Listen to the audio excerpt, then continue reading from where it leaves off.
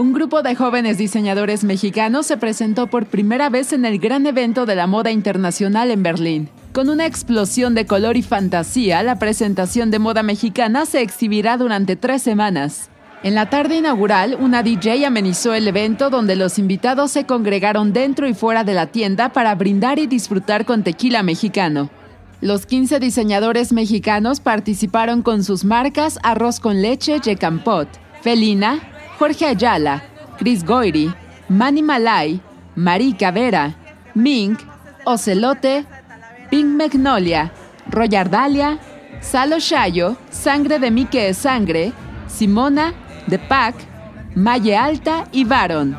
Además de la exposición en el Showroom Pop-Up Store, los diseñadores han participado en diferentes presentaciones y eventos de la Fashion Week con información e imágenes de Olga Borovio, corresponsal en Alemania. Notimex.